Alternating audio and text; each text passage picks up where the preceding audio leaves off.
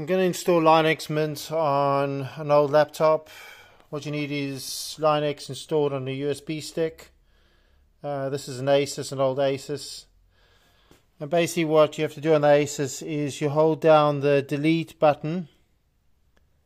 Hold that down and then push the power button. Keep the delete button down. It goes into the boot utility and then you scroll across to the boot option.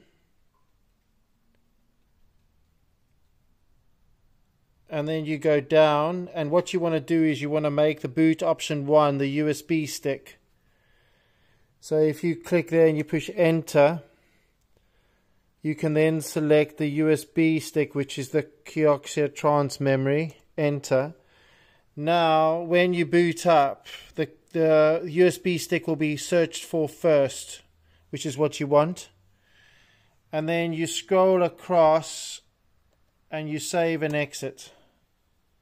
And it says, do you want to save configuration? Yes. When the when the laptop boots up again, you'll notice it now goes into the installation mode for installing the Ubuntu Linux Mint.